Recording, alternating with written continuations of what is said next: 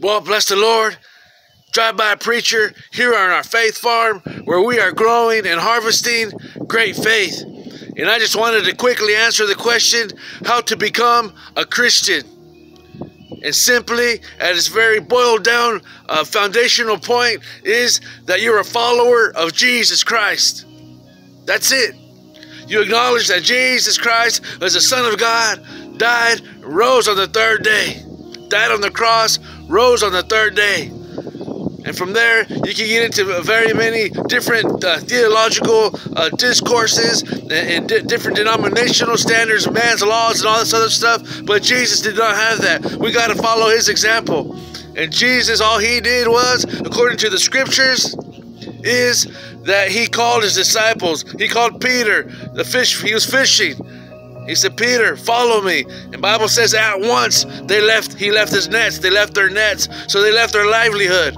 Matthew, a tax collector, he said, Follow me.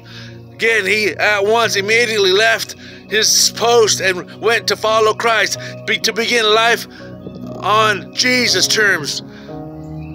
That's key to live life on Jesus' terms. The disciples were first called Christians in the uh, book of Acts, I believe it's uh, chapter 11, verse 26. They were first called Christians, which literally means in the original Greek text, literally means little Christ. They were first called Christians in, in Antioch, Acts 11 26. And so we've got to follow the lifestyle that Jesus modeled. And that's it. All the other uh, uh, topics and all the other stuff is, is for theologians to, to argue. All we got to do is follow Christ. So what did he do? He loved. He forgave. He was patient. He encouraged, he taught. He didn't argue. He didn't fight. He didn't murmur. He didn't backbite. He didn't gossip. He gave glory to the Father.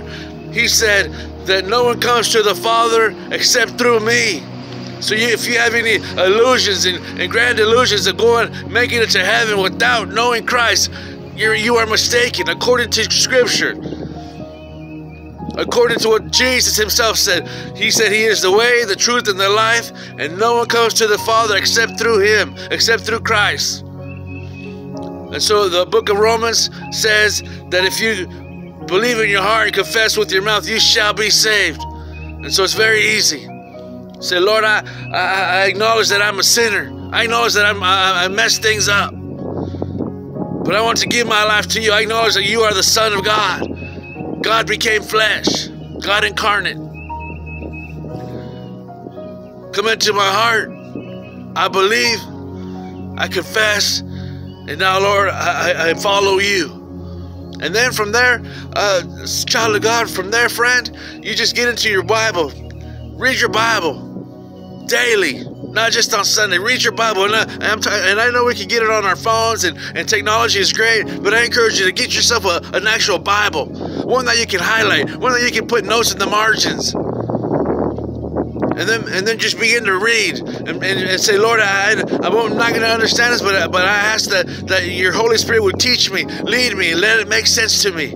And then you find someone that uh, you know has a relationship with Christ. You know that, that they have uh, that intimate walk with the Father. And you just get connected with them. With them. Get connected with them. Say, look, I, I you know, you inspire me. You, you, I know that you have you've been walking with the Lord for, for some time. I, I that's what I want, and so I'm, I'm to get connected to you. Here's my phone number. Or here's you know, however you want to get connected and, and, and then and then you just you, you, you build that relationship with Heavenly Father daily daily. It's a disciplined walk. It's a narrow road, but it's a beautiful walk. It's not gonna be easy. It's not gonna be easy, but but it's but it's it's a worth it. It's a blessed life. Anyway, how to be a Christian? Follow Christ wholeheartedly, not half not half stepping, but wholeheartedly. Live life on His terms according to Scripture. Thank you. God bless you. And as always, fire fall.